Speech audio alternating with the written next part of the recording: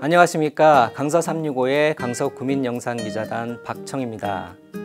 이번 주는 사회적 거리두기 강화로 일상이 멈춰버린 한 주가 됐는데요.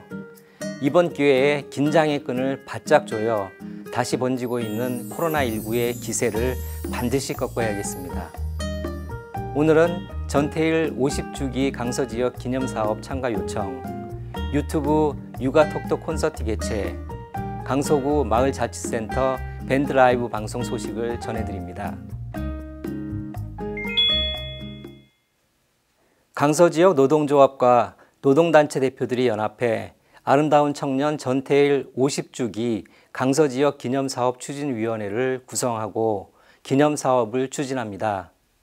위원회 발족식은 오는 8일 진행될 예정이며 자세한 내용은 전국 공무원 노동조합 강서구 지부에 문의하시면 됩니다.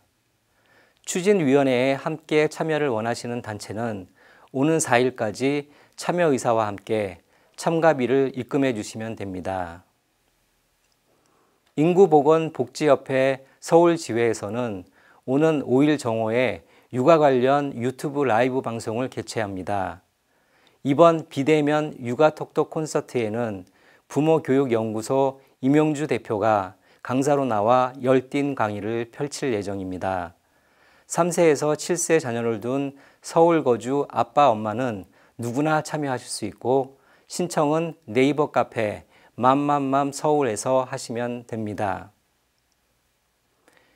강서구 마을자치센터는 오늘 9일과 11일 오전 10시 30분에 밴드라이브 방송을 시작합니다. 코로나19로 만남의 어려움을 겪는 요즘 비대면으로 마을 공동체 활동에 대한 이야기를 나누기 위해 마련됐습니다. 방송은 비대면 활동 꿀팁 대방출, 코로나 시대 어려움을 토로하는 나만 이래요 등 다채로운 프로그램으로 진행됩니다. 참여를 원하시는 분은 휴대폰을 통해 밴드 강서구 마을 자치센터로 들어오시면 됩니다. 폭염과 태풍, 코로나로 인한 서민경제 마비까지 짜증나는 일이 너무 많은데요. 이럴 때일수록 마음의 여유를 갖고 서로를 배려하며 생활해야 할 것 같습니다. 다음 시간에는 더욱 알찬 소식으로 찾아뵙겠습니다. 안전한 한 주 되십시오.